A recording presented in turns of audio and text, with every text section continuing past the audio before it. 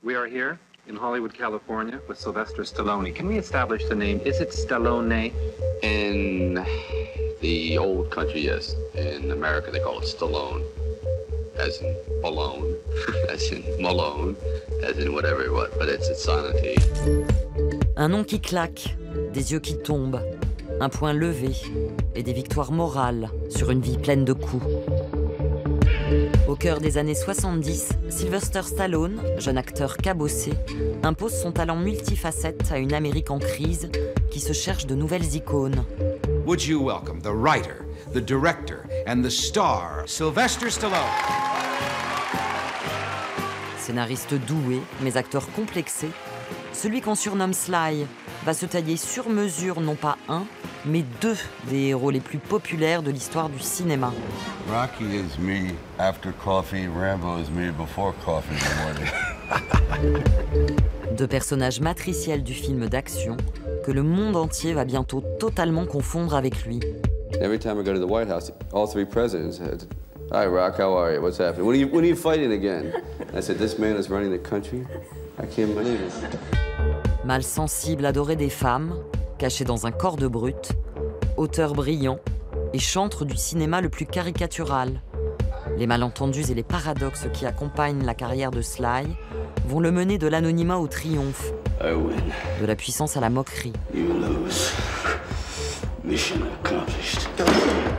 Fantasme de collégien des années 80, il aurait dû être englouti par le changement de millénaire. Mais il est toujours là, au prix d'un acharnement qui force l'admiration. Car Stallone prend les coups, mais ne s'avoue jamais totalement au tapis. I have the tiger. I have the tiger. It's a jungle. I have the tiger.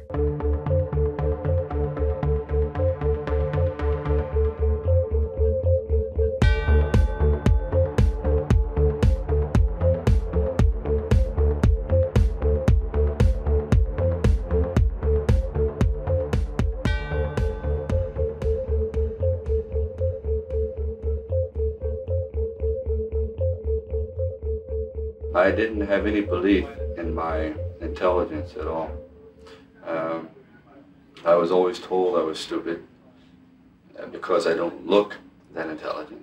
I decided to lean more toward the physical, so I began to lift weights and box and things, and and uh, I have to say that in the end, that really is what made the difference in, in acting because that's the way I started out as being the big dumb guy.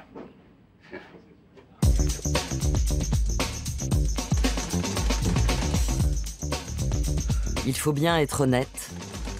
Sylvester Stallone n'avait pas vraiment le profil pour devenir un super-héros. Né le 6 juillet 1946 dans une modeste famille d'immigrés italiens, il atterrit même directement dans un environnement où il ne fait pas bon rêver. I was born in a place called Hell's Kitchen, New York. We tend to make our memories nice, nicer than they were. I had a rough, rough time, but it was worth it. I'm not complaining about it. I don't. Il ne se plaint pas et pourtant, dès son arrivée dans la vie, ce fut difficile. L'utilisation des forceps à sa naissance a laissé des traces. Un air facial abîmé, une paralysie temporaire du visage, et le voilà avec des yeux tombants, un défaut d'élocution, et cette voix plus grave que nature, qui deviendront plus tard si emblématiques.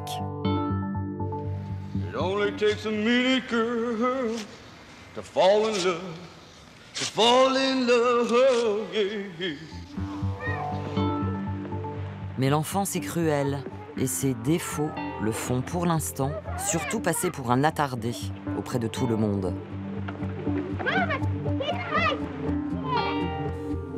D'ailleurs, ni son père, Frank Stallone, coiffeur pour dames au caractère rigide, ni son excentrique femme, Jacqueline, ne montrent beaucoup d'égards pour cet enfant pas très désirable. I had a mother who wanted to be an actress or something. She wanted to be anything but a mother. So I had to be on my own, and I would get lost in fantasy. Woo! You know how I got started in fighting? Huh? No. Am I talking too loud? Three minutes. My father, he's, uh, my old man. He was never too smart. He says to me, you weren't born much of a brain, you know, so, uh, you better start using your body, right? So I become a fighter. You know what I mean? Car oui, dans la famille Stallone, l'idole c'est Charles Atlas, alias Angelo Siciliano, star du bodybuilding dès les années 30 et véritable modèle de réussite pour la communauté italo-américaine. Sa success story montre la voie et pour l'enfant mal aimé, le sport devient un refuge, son unique moyen d'exister. You were never the Charles Atlas 99 pound weakling. Oh, at the time I was 13, I was desperately thin. I was the kind of guy who would have to wear uh, like a life preserver in the shower. I mean, I'd go down. I was very, very, very thin. Like, since one person used to say, oh, what are those two threads hanging from your waist? I said, it's my leg. Et comme par hasard, les modèles qui font rêver le petit Sylvester à la télévision et au cinéma, ce sont des héros fantasmatiques dont les muscles saillants reflètent la force morale. Able to leap tall buildings at a single bound. Look, up in the sky. It's a bird. It's a plane. It's Superman. Yes, it's Superman. I've always been impressed by that character. I said, Can you imagine just being able to let him fly and not be affected by anything? No problems, nothing.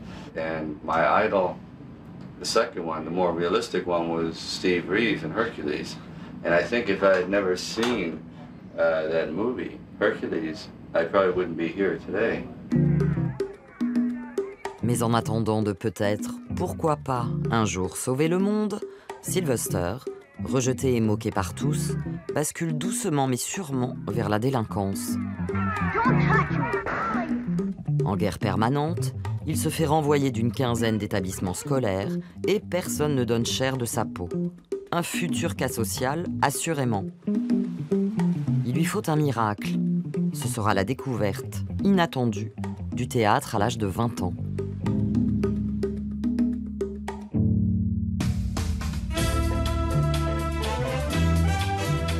C'est décidé, il va tenter sa chance comme acteur.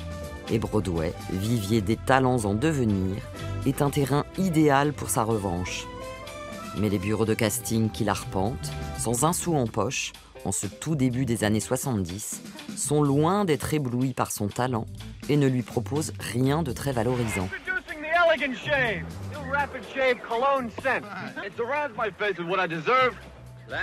Il faut bien s'y résoudre.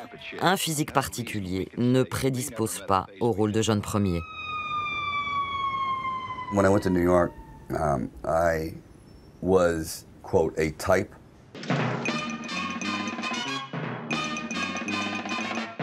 I think also because my voice was deep and mm. whatever, and, and I was always the villain. I was always being beaten up by Woody Allen or beaten up by Jack Lemmon. In all mm. these movies, I was being thrashed by David Carradine. I was always being thrashed by somebody.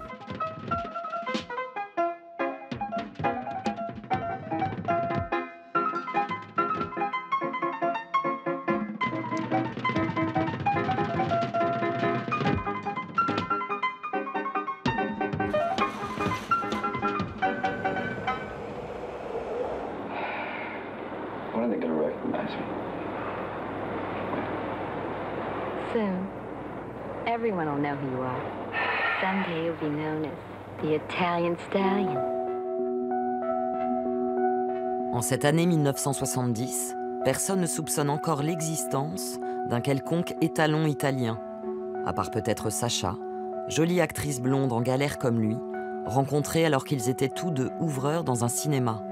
Elle sera bientôt la première Madame Stallone.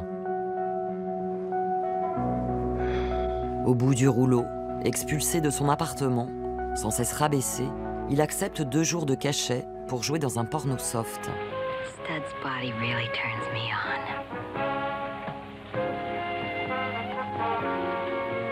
His muscles are so hard they make me tingle all over.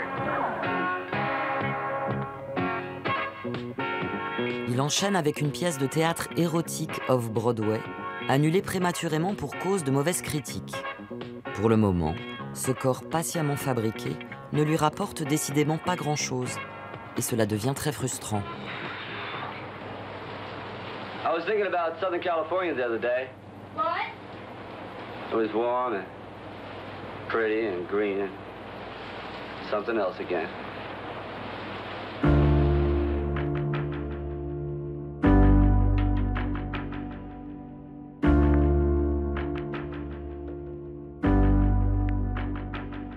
Uh, I had left New York and went to California trying to find gold in the streets, you know, go west, young man. And we went there and all we found in the streets were like, uh, you know, potholes. Say nothing. There was no, the streets were lined with lead.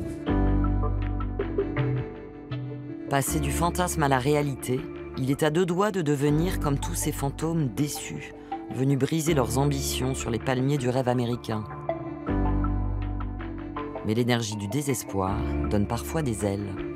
Why did you decide suddenly to write scripts? I became so involved in trying to promote my career that it became a mania until I became angry and hostile, and I would get into many fights in the street. And I, uh, then I said, "This is no good. This is starting to consume my whole life and wreck my life." So I said, "I don't want to, I don't want to act anymore. But maybe what I can do is write all my frustrations and make screenplays, and someone else, a famous actor, would act in the movie. So that's what I started to do. I painted my windows black, and I wrote and wrote for a couple years until I had 15, 16 screenplays. Go, get 'em. L'apprenti scénariste entasse les histoires, mais c'est un spectacle inattendu qui fait germer la bonne idée.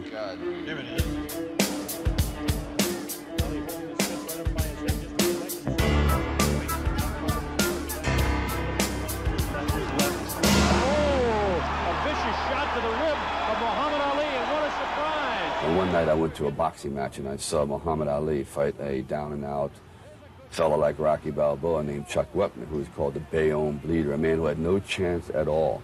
I mean, he was, a, he was considered a joke. Anyway, he went the distance with the champion. He proved to have the heart of a lion. Even though he didn't win, it didn't matter. The, the message is he had his moment and he showed himself to be dignified, distinguished, and, as I said, courageous. Seven, eight, the referee stops the fight. It'll be scored. An idea gelled, and I was in this manic state. And I wrote the screenplay, not a good one, but a good enough, in three days.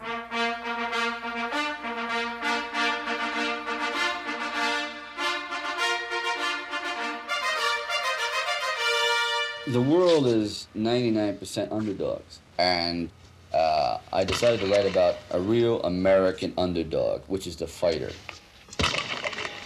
And I took my particular uh, inability to get anywhere as an actor and put myself into the body of a fighter. Because the actor, writing about an actor is not so interesting. But about a prize fighter is, is because everybody knows what it's like to feel anger. Stallone ne le sait pas encore, mais il tient un scénario en or. Les producteurs Irwin Winkler et Robert Chartoff flairent le bon coup et pensent déjà à Ryan O'Neill, Burt Reynolds ou James Caan pour jouer ce loser magnifique. Mais problème, Stallone a changé d'avis. Il ne vendra son script que s'il peut jouer lui-même le héros. Un bras de fer s'engage et les enchères montent pour se débarrasser du gêneur. Well, I got in excess of uh, like $250,000, and I had about $103 in the bank. But.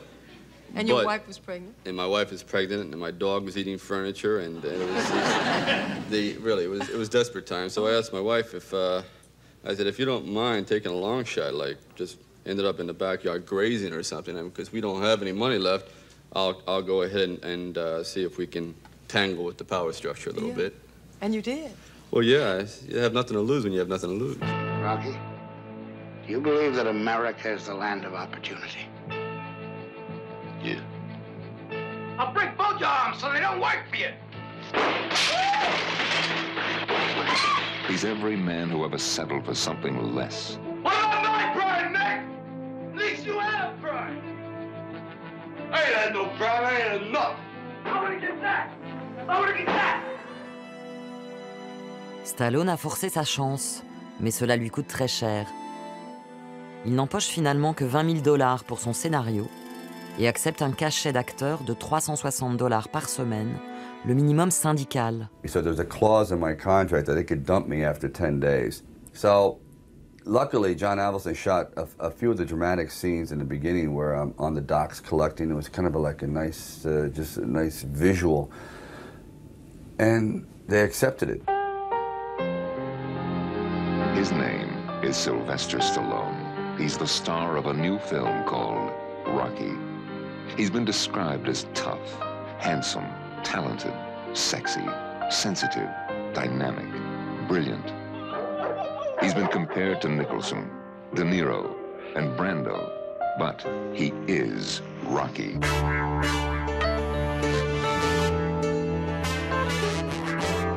9 janvier 1976, premier jour d'un tournage en forme de Paris dans les rues de Philadelphie. Sans star, le budget est réduit au strict minimum. Lumière naturelle, pizza à tous les repas, des proches comme figurants, et Sacha Stallone, enceinte de leur premier enfant, recyclé en photographe de plateau. Tout doit être dans la boîte en 28 jours pour un petit million de dollars. La production accorde tout de même quelques luxes, comme cette toute nouvelle caméra appelée Steadicam, qui va permettre d'accompagner Rocky au plus près de ses efforts.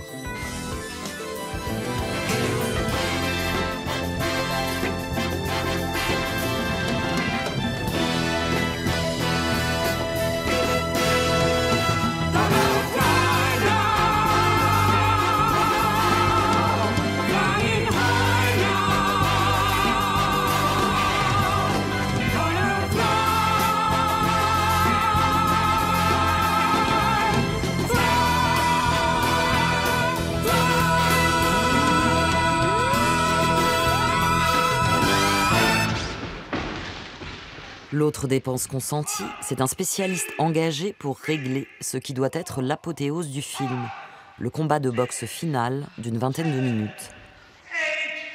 Mais comme souvent avec Stallone, cela ne va pas se passer comme prévu. They had brought in the fight choreographer, and I didn't know anything. I just had a feel that I wanted the fight to look a little bit different, so I said, how about in the first round, Apollo Creed comes out, and hits Rocky four times in a row with the right hand. He goes, that's impossible. I said, why? He goes, it's unrealistic. I refused to do it, and he quit. So now, uh, you know, I had no experience. The fight choreographer quit. The director is looking at me like, what have you done?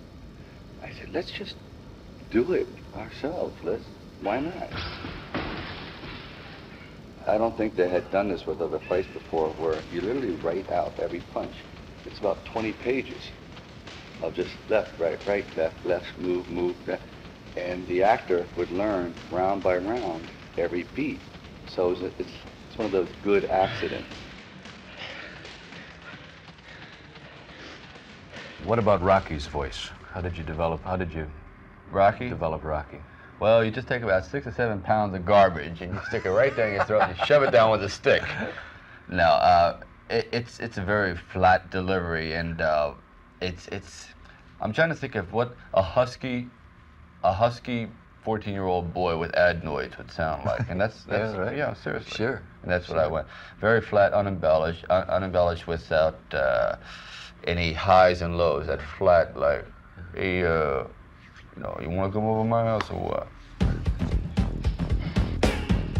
L'acteur veut prendre des risques et bousculer les codes habituels.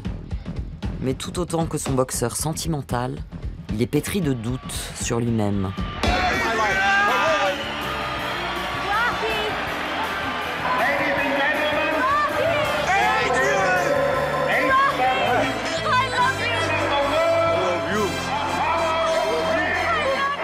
I went home that night and I told my wife, I said, this is the worst acting I've ever seen in my life. It is a complete, utter, and foolish disaster. I am yelling, screaming as a Adrian, Adrian, Adrian, and it's empty. And there's no one there. And it's like, you know, it's almost embarrassing. It'll never, ever, ever, ever work.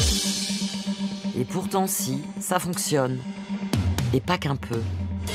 Le petit film à 1 million de dollars rapporte près de 120 millions en quelques semaines aux États-Unis et presque le double à l'international.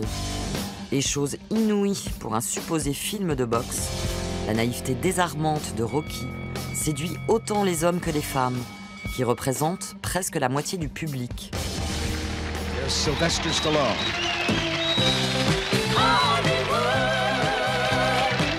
Stallone le raté devient une curiosité qui méduse l'Amérique. I'm so emotional about the film. I saw it, I, I went to pieces when I saw it. If you see this motion picture and you don't break down and cry, you got no lacrimal glands. You got no soul. Can you get a look into that camera and give us a little bit of Rocky? You know, you're sitting here and you're telling me you want to be a you want to be a manager. You want to help me out. Where were you when I needed you? Huh? I didn't see you knocking on no door. I didn't see you coming up here and saying I want to be your friend. You ain't my friend. If you was a friend, you'd look at me 10 years ago when I needed you. But no, the legs are gone, my hands are gone. Who are you? Who are you? I'll tell you who you are. You think I'm a loser? I'll tell you I am a loser. I like being a loser. I made a profession out of being a loser, and you're a loser. So why don't we just join hands and maybe we can become a winner together? But alone, we're nothing. Together, maybe we could be something. That's all. I think it's the time to quit. You were great. Thank you. Thank you very much for the opportunity. Sylvester Stallone. If you don't see the movie, you're a fool. It's called Rocky, and it begins Sunday at Cinema One. 10 nominations aux Oscars et 3 statuettes finissent de consacrer Rocky nouveau mythe de l'Amérique. Comme un coup de poing à la fatalité, avec son héros cabossé, Stallone a désormais tout le pays derrière lui. Boxing-proof movies never are successful, never. But Rocky was a fairy tale, was morality play. And I believe a lot of people in life don't expect to be movie stars or presidents or the most handsome, whatever, but they, at the end of their life, say, I did as well as I can.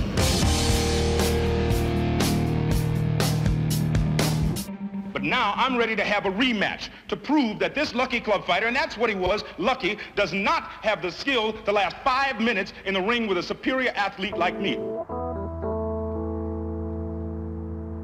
Une fois la folie passée, le nouvel outsider du cinéma américain a un besoin irrépressible de se prouver à lui-même que Rocky n'a pas été qu'un coup de chance. Il sait déjà que son héros miroir sera l'outil d'une autobiographie inédite au cinéma, mais pour aborder le deuxième round de sa carrière, il doit montrer qu'il sait aussi faire autre chose.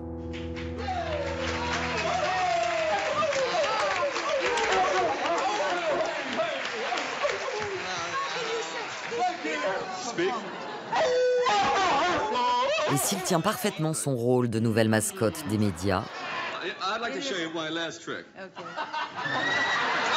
prêt à tout pour amuser la galerie, en coulisses, la célébrité et l'argent qui coule à flot lui font tourner la tête. Le nouveau riche sort trop, dépense trop, trompe sa fidèle femme Sacha. Rumeurs de divorce et réconciliation à répétition. Loin des écrans de cinéma, l'acteur devient la nouvelle star des tabloïds et une des proies préférées des paparazzi. Fell into every trap that I swore I would never fall into. I would read the fan magazines, you know, I was 14, 15 years old. I said, boy, how can that guy buy, you know, a candy stripe, uh, you know, motorboat and keep it in his bathtub? And how can this guy have 92 different wives? And how can this guy, you know, walk around 100 carat diamond rings and so on and so forth?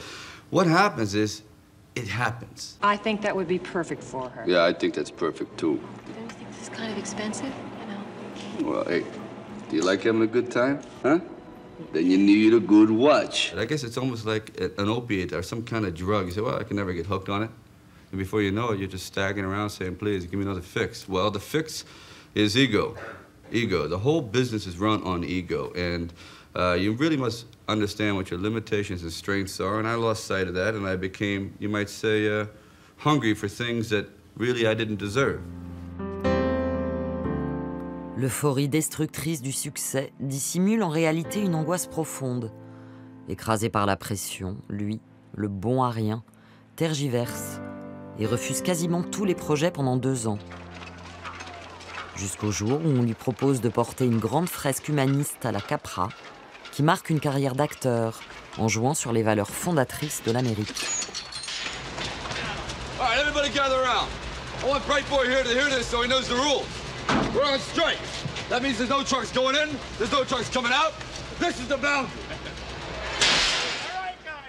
Please welcome the star of Fist, Sylvester Stallone. Uh, how are you? I feel as though I've been in dry dock for about two years, and people are saying, well, I suppose Rocky was it, and he's going back into the fight game someday, or reverting back to some gym somewhere in Philadelphia. But I'm um, I never thought this was going to come out, and it seems to have been received very well. So maybe people stop punching me and calling me Rocky, and I'll get a new lease on life. Nobody's gonna go around doing this. Hey, Rocky! One fist! One fist! L'échec de Fist, pourtant un bon film, est à la mesure de l'attente d'une nation envers son héros, immense. Celui que l'on surnomme désormais Sly ne convainc pas et est désigné seul coupable.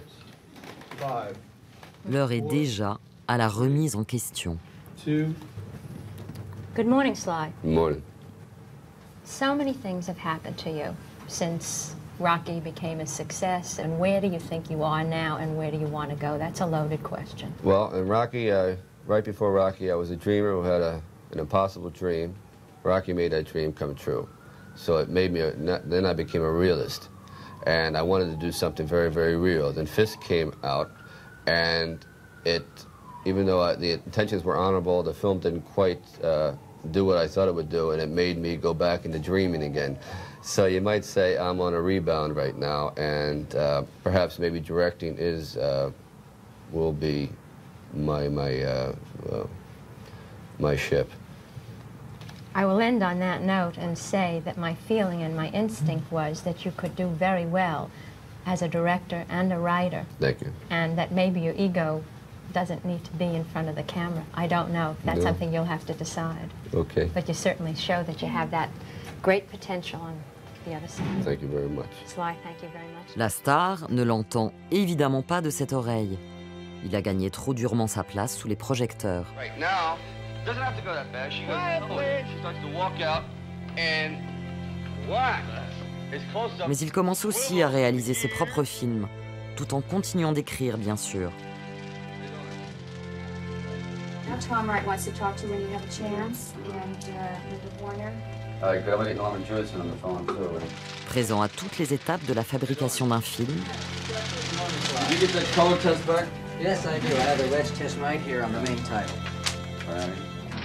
il veut tout maîtriser.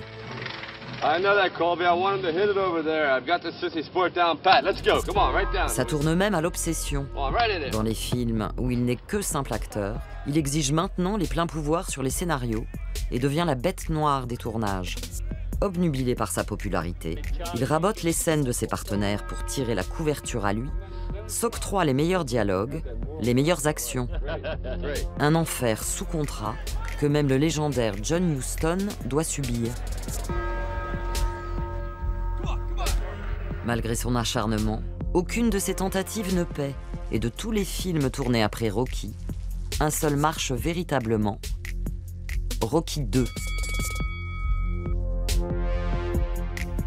En quelques années, non seulement l'humble boxeur s'est mué en monstre d'arrogance, mais il semble condamné à un seul rôle.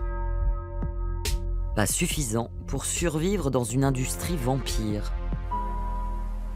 Tell me, Sly, if anything should happen and you wouldn't be famous anymore, do you, could you, do you think you could stand that?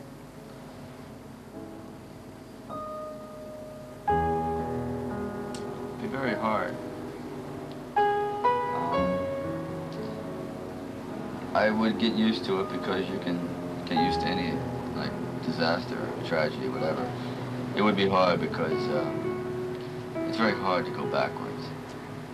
It's, it hurts to know that you're you can't maintain a certain level of uh, accomplishment.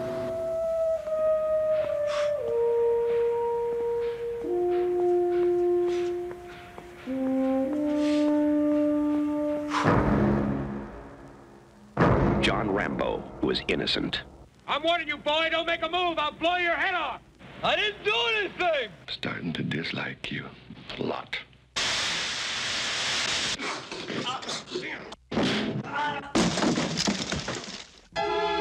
Sylvester Stallone. You have never seen him like this before. Mais heureusement pour lui, à Hollywood, aucun scénario n'est écrit d'avance.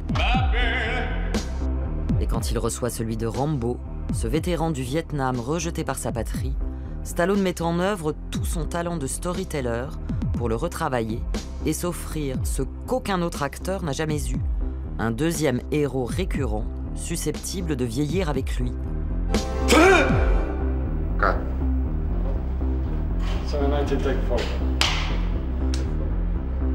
My son saw it in his movie class at college that Charles Champlin, the great critic, is the teacher. I said, Now listen, Sly's going to be on the show. Don't tell me it was bad. He said, Bad. The kids went out of their minds, and Charles Champlin, the critic, loved it. Thought it was among your best work. Did you know this? No, I didn't. Okay. Top five days shooting. It wasn't my fault. Le génie de Sly, c'est de contourner les limites de son jeu d'acteur en inventant une nouvelle formule de personnage, moins bavard et plus premier degré. Mission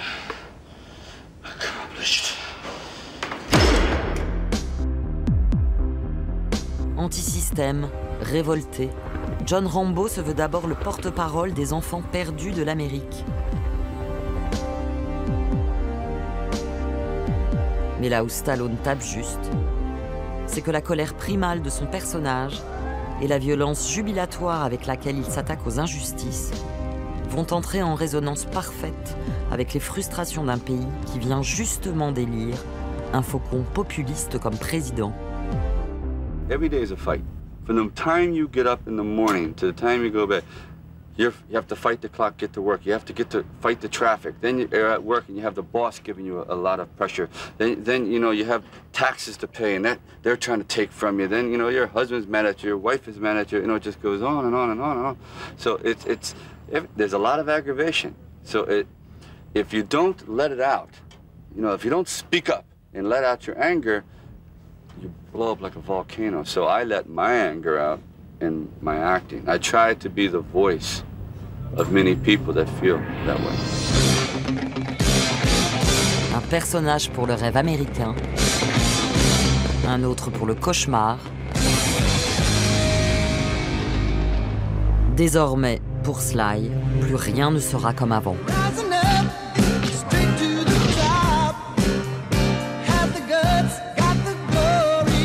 Avec ces deux figures iconiques, une machine que rien ne semble pouvoir arrêter est lancée.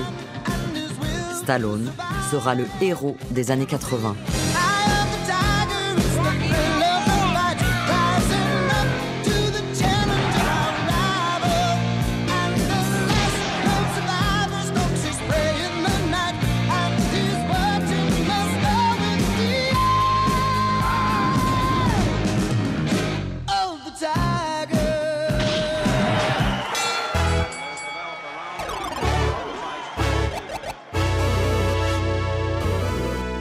Quasi simultanées de Rocky IV et Rambo 2 en 1985 achèvent d'entériner le phénomène.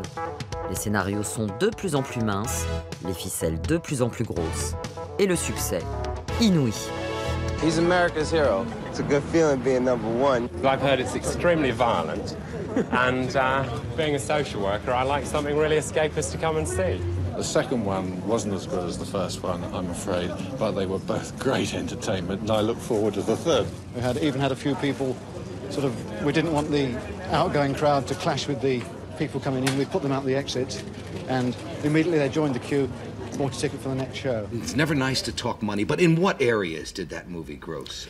It's Uh, public record. It box office because people I don't think understand rentals and whatever, but box office it'll probably do about a quarter of a billion dollars.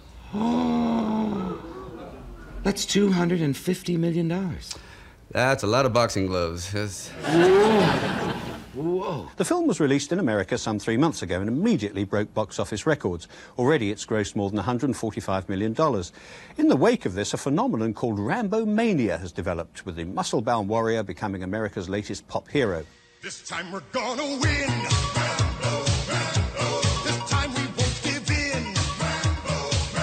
Stallone lui-même n'en croit pas ses yeux. Plus populaire qu'une rockstar, son image envahit la planète.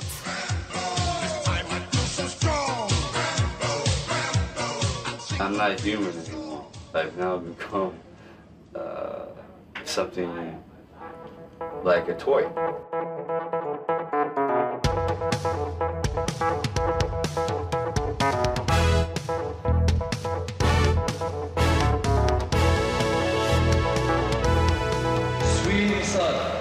Je suis libanaise, and I want to be movie star.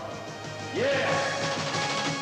Many people don't act normal around me. They, they act different. They think I am those characters in the movie, so they they get nervous. People get nervous, and I try to say, calm down. I'm, this is just a character.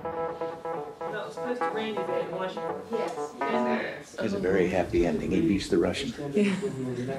I must say, he, the physical shape he's in, good Lord, he must spend a, a lot of time in the gym. He is, he looks like Mr. America.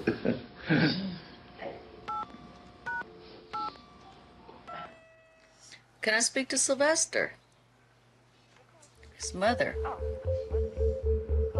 So, yes. Yes. Where is Sylvester? Well, where is he? Do you know? At the gym?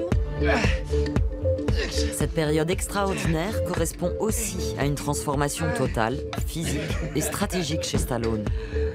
I gotta be crazy.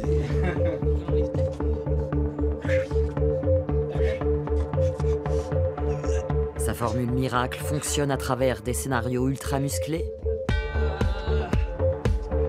Eh bien, il va se forger un corps de dieu grec, reflet de sa toute-puissance. Ses fantasmes d'enfance deviennent une réalité. It's the gymnasium. Wait, is Sylvester Stallone there?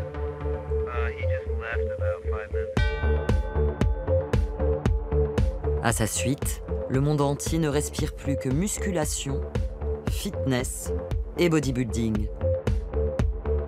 Il est le chef de file d'une génération bling-bling tournée vers la gagne à tout prix, qui a trouvé ses nouveaux modèles.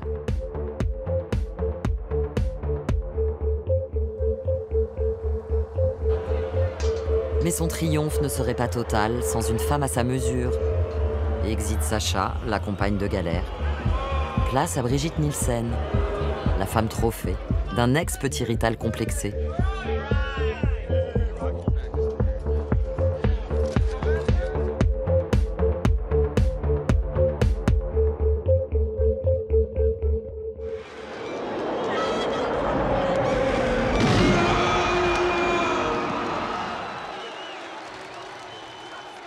Have to be careful what I say because uh, sometimes, like, people say, "Oh, you're making a political statement." It's women. Rambo is making a political statement. Okay, he is an army. He's a soldier. I am not a soldier. I don't make any political statements. When I go home, I shut the door. I go to bed. He's different. Mais à flirter de plus en plus ouvertement avec la caricature, l'acteur a sans le vouloir comme pactisé avec le diable. Dans cette période d'anti-impérialisme marquée par des attentats à répétition, Ronald Reagan, son plus grand fan, va presque naturellement utiliser la figure de Rambo pour menacer ses ennemis.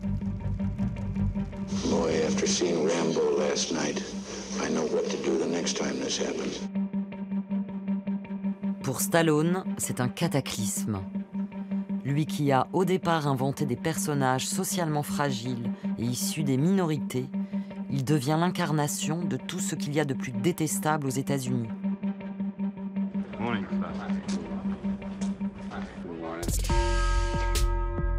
Il faut dire que sa soif de succès et la surenchère permanente qui l'accompagne ont fini par transformer son personnage de guerrier en marionnette réactionnaire d'un manichéisme bas du front. Et à Hollywood, pas de pitié. Stallone redevient vite, comme lorsqu'il était enfant, un sujet de moquerie. Sheen. Charlie.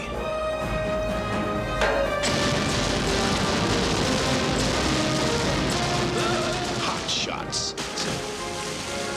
Part Dieu. What I see, this is a marriage here, Brigitte and Sylvester. The, the $25,000 wedding gown, the one that I said I wouldn't even attend because it's not going to last that long. I'll attend the next one. I didn't want to see that. I told Sylvester he shouldn't marry because it wasn't going to last on the first eclipse, and there is an eclipse, that he would file for divorce. It wouldn't last on the first eclipse, which was April. They filed for divorce. Believe it or not. Un divorce à 5 millions de dollars, une rumeur selon laquelle Brigitte l'aurait trompé avec sa propre secrétaire, la star est en mauvaise posture et va alors tout miser sur un film nommé Over the Top pour redorer son image.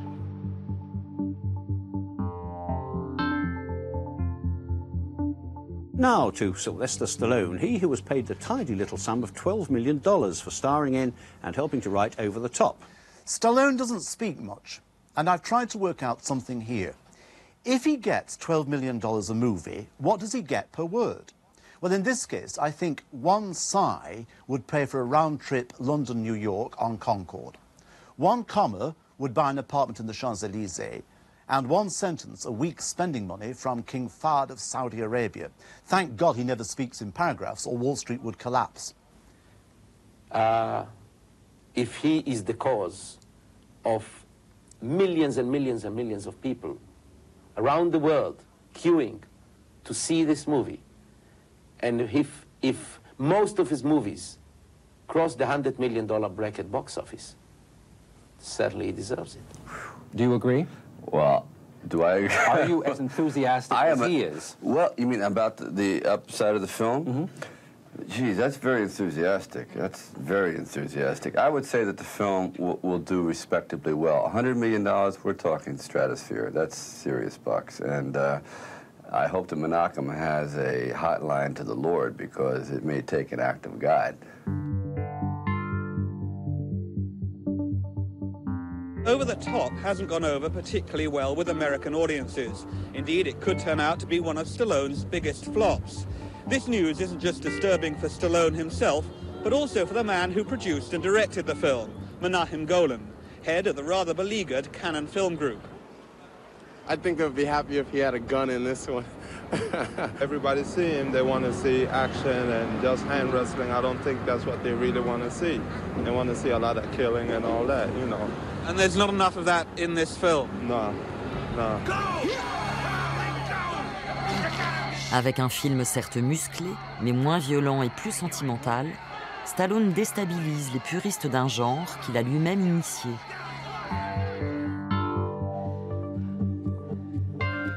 À la fois créateur et créature, comment peut-il sortir de sa prison à l'heure où son corps s'use et hurle sa souffrance à chaque entraînement?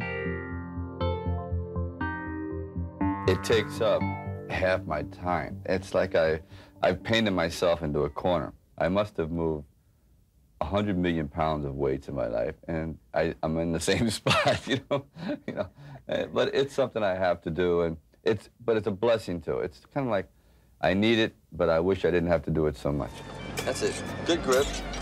That's right. Lean into it. You can do it. Keep your wrist straight. Good. That's it, Mike. Now put some muscle into it. There's more to life than just muscles. Meaning what? Meaning, I don't see any books around. You don't read much, do you? Pour les inconditionnels de Rambo ou Sylvester Stallone, ils seront très contents d'apprendre que leur idole, conscient de ses problèmes d'image, Monsieur Gonflette rien dans la tête, a décidé d'en changer. Après s'être offert quelques tableaux de maître, il choisit un sport plus smart. À bientôt 45 ans, Sly raccroche les gants, les flingues et les couteaux pour chausser à présent ses lunettes d'intello. Un jour critique d'art, I think Rodin, what I like about his art is that it's either starting an action or ending an action. It's always a movement. le lendemain agrégé de littérature. Shakespeare would say, to those who think uh, life is a comedy, to those who feel life is a tragedy. Le samedi, aussi à l'aise qu'un lord anglais sur un terrain de polo. Enfin presque. Le dimanche déguisé en gentleman des greens. On a même vraiment cru au début des années 90 qu'il allait laisser tomber les tournages. I am finally master of my own kitchen. I like that. Finally. Mais finalement, non. Pour revenir sur le devant de la scène, il se lance alors dans la comédie, sans grand succès, et retourne tel un robot au film d'action. Mais même les plus réussis ne le comblent plus totalement. Il lui manque quelque chose, mais quoi? People love comebacks. And there's nothing in the boxing business more commercial than a long shot comeback of a down on his luck pure Snow White underdog.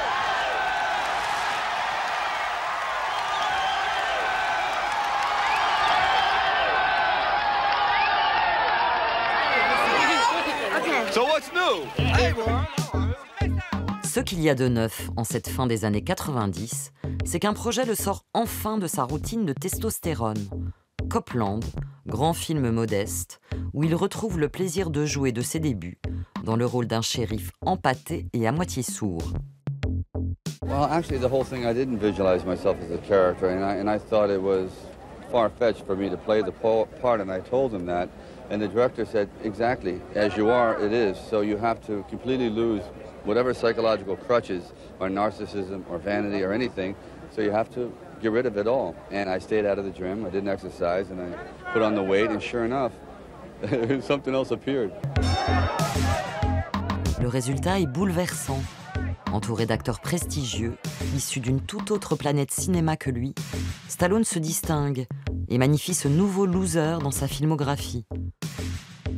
Tout ça pour 60 000 dollars, alors que dix ans plus tôt, il empochait près de 15 millions par film. To me, going to just doing action films per se was was just so ungratifying. When I did uh, Copland and took no money whatsoever, I thought this was kind of a, a, a I feel so lame saying it's kind of like a purification. Take away all the muscle, take away all the armor, take away everything. Remis à flot par ce succès d'estime, la star a aussi retrouvé un certain équilibre dans sa vie personnelle. Il épouse le mannequin Jennifer Flavin et s'implique désormais dans sa vie de famille, beaucoup plus présent avec leurs trois filles qu'il ne l'a été avec les deux fils issus de son mariage avec Sacha. Ce nouvel équilibre lui permet de se recentrer. Fini de courir le cachet, il sait malgré tout que son destin est attaché aux deux héros qu'il a créés. Pour les studios, Rocky c'est du passé. Mais Stallone veut y croire et met près de 10 ans à réaliser un sixième volet à 60 ans. C'est une réussite et un quatrième Rambo suit de très près. Les gros bras ont vieilli, la nostalgie est à la mode. Il imagine alors une nouvelle franchise. Mais cette fois, il n'est plus tout seul. Voici venus les Expendables.